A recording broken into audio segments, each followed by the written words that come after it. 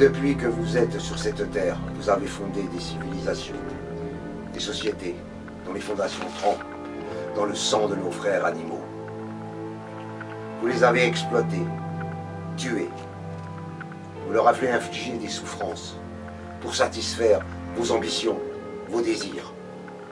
Que de sacrifices au nom de la religion, de la politique, de la tradition. Eux n'ont jamais eu le choix. Ils n'ont jamais compris ces souffrances, compris leur propre mort.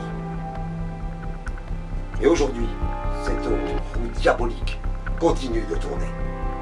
Alors prenez quelques instants de votre vie, votre courte vie, car vous n'êtes pas éternel, et inclinez-vous devant le monument de la Constancia. Merci à vous.